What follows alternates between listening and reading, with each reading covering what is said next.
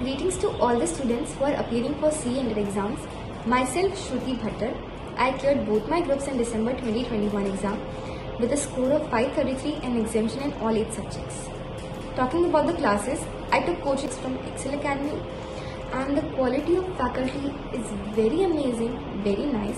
The teachers are very supportive, very motivating, very cooperative and their doubt solving mechanism is the best feature. None of my queries or doubts remain unsolved. Whatever I used to ask, I used to get instant replies. Now, if there is anything you should remember while the preparation, there are the three C's. First C is consistency. You should remain consistent since day one. CA is a professional course and therefore the amount of syllabus is very huge. So you need to remain focused and dedicated since day one and not leave anything for the last moment.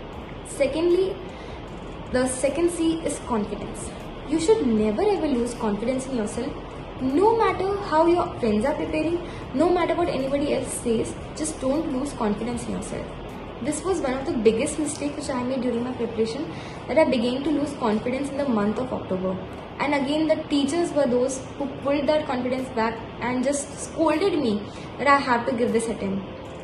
And also one more thing what I did to keep my morale high was I used to exercise and that would bring all the zeal back and made me realize that these would be the two people who would be happiest if I become a chartered accountant. And third C is concentration. Concentration should be kept while studying and also while answering the paper. Because what ICAI does, it's it takes a question from a past attempt and just changes a one word or one amount. And if you are not concentrated, you will make a big mistake while answering.